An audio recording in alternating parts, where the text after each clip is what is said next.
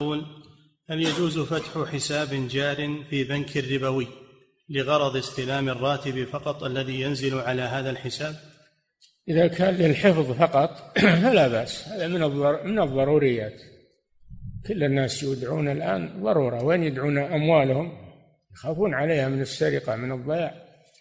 إذا كان ما هو للاستثمار وإنما هو للحفظ فقط ويسحب منه إذا احتاج ما في مانع. نعم.